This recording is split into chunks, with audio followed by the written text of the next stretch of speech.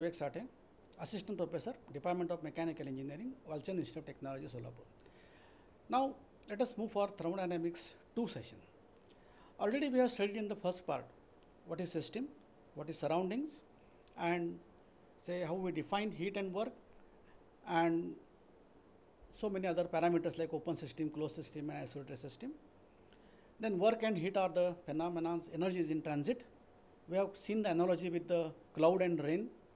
Now, very important calculator, calculation part or analytical part is calculation of work done during various processes. Now, before that, we must know what is the thermodynamic process. Again, like previous video, we will just see that what are the outcomes of this particular video. At the end of this session, the, you will be able to derive the expression for work done for various thermodynamic processes and you will be able to calculate work done for a cyclic process. Now, before we go into the detail about the processes and their work done, let me ask you a simple question. What is a process? Now, process, if you ask someone what is a process, then one may say that if I am here at point number 1, I may go to point number 2, then this is called as a movement from state 1 to movement to state 2. Now, the question is when I go from 1 to 2, where there is single path available, this is one path, this is another path, this is third path, then this is another path. So, there are infinite number of paths. There are infinite number of paths. But do we have infinite number of processes in thermodynamics? Theoretically, yes. Practically, not. So, practically we are considering few processes that I will mention you and for them how to evaluate the work done, expression for work done we will learn and I will pose you certain questions so that you can find out the answers for those typical critical problems. So, one thing is clear to you that process is a change of state of a system from 1 to 2. In short, if I see the block for example, suppose there is one Pi, P1, V1, T1, rho 1, then N1 and so, so, so, so many parameters and there is another say change from this to say P2, P3, P4, then V1, may V2, may V3. See, why I written like this? P1 may change to P2, it may not change. Sometimes it may happen that only P1 changes and all other parameters remain same. Even then we call as a new system or new state because state represents a thermodynamic system in its entirety that is very important. In its entirety means it is like just like a coordinate system. Suppose on this xy system, if I say that I am at point say x is equal to 5 centimeter, if I say x is equal to 5 centimeters here, I am not sure whether where I am here, here, here, here or here. But if I say that I am at y is equal to 3 centimeter, then I can get locate the point. Similarly, any thermodynamic system, when I say that it has got P1, V1 and T1, it is one point. When I say it is P2, V2 and T2, I will say it is another point.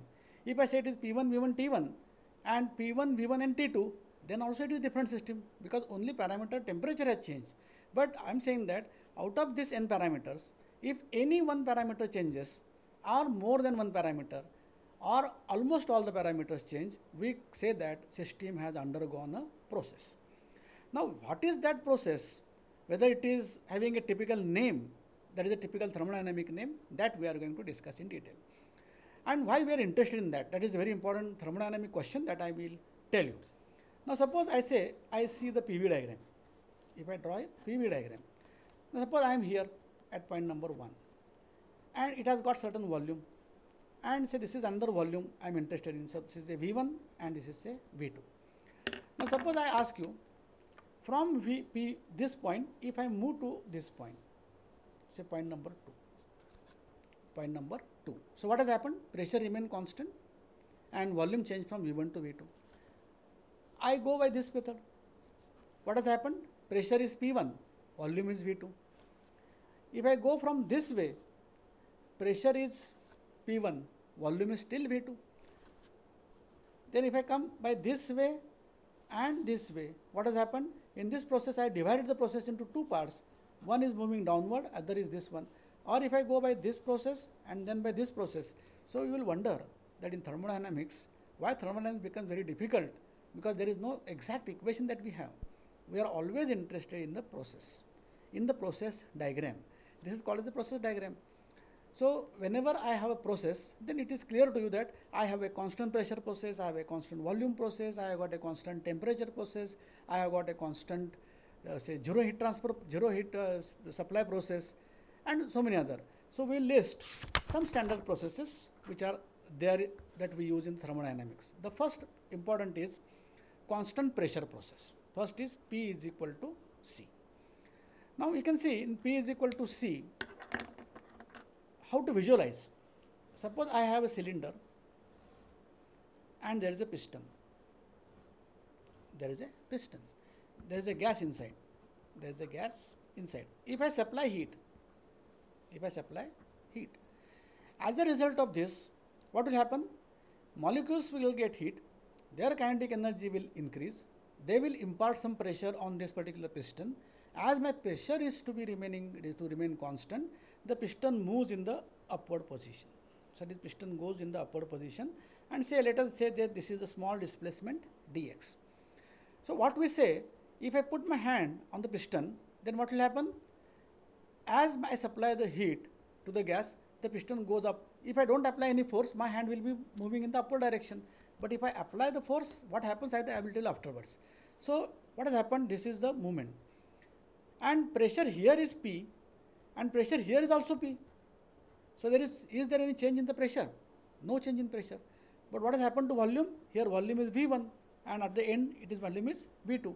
So if I want to draw this on a process diagram that is pressure and volume, initially my volume is V1, finally my volume is V2 and my pressure is constant. So naturally from this if I see the net force applied on this piston, suppose the piston has got cross sectional area A and P into A is equal to force and this force into displacement into displacement is equal to work done. So what is my force? P into A. What is displacement? dx. Now I club this. So it is a P into small change in volume. Now there comes calculus. When I am infinitesimally increasing the volume, what happens? This is my work done for a small change. If I take integrate it from V1 to V2, I will get this as P into V2 minus V1. Now the question is whether it is a work obtained or work supplied to the system that is very you can, that we can do by common sense because if V2 is greater than V1, V2 is greater than V1, what has happened? The term is positive. So the system is giving positive work. Means many students have a confusion that expansion means reduction in pressure. It is absolutely wrong. Expansion is defined only with respect to change in volume. Now see here, here pressure remaining constant we have got a expansion. If I say this process in which there is decrease in pressure but increase in volume and pressure is not constant. So in that situation, I have to find out PdV and P is to be defined in terms of V. From V1 to V2 I want to integrate. So this is a multivariate calculus. Means I must define P in terms as a function of V and then integrate it as a function of V or I must define V in terms of P as a function of P and then integrate in terms of P. Anyway, integral PDV is going to be work done. So one thing is clear to you now, say this is, it can go in this way also. So there is an increase in pressure and done is positive. There is a decrease in pressure and done is positive and pressure remaining constant, there is a positive work. Now my question, simple question to you is, simple question. Out of these three processes, out of these three processes, so 1, 2 and 3, work done for 1, work done for 2 and work done by 3. You put the less than equal to signs in between. That is your task that you have to complete. Okay. Now this is about the constant pressure process and any relation that we have. Now another simple thing that you may require is if I go for a isometric process. Many students do not have do not know the term isometric because isometric, metric is a term for measurement and for isometric process, when I draw the PV diagram, my volume is constant. So in this case, work done is equal to 0. For isothermal process, this is PV is equal to constant. You can integrate PdV. You know that PV is equal to nRT. Put the value of P is equal to nRT upon V and integrate. And integrate, you will get the expression which you already know that is nRT log of V2 by V1. If V2 is greater than V1, it is a work done. If it is less than, then it is work given to the system. If it is polytropic process or isentropic say, process, it is PV raised to gamma is equal to constant, same. Now, the task for you, show that work done is equal to P1 V1 minus P2 V2 upon gamma minus 1 or work done is equal to P1 V1 minus P2 V2 upon n minus 1. And simple question, W isothermal and W adiabatic. In W adiabatic, in this process, which work is greater for the same delta V?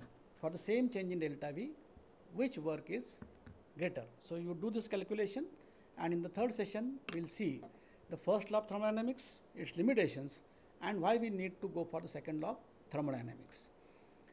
Now those who are interested in say learning more about these numericals, you can refer to thermodynamics by P.K. Nag, thermodynamics by Yunus Cengel. Thank you for this particular say session. Thank you.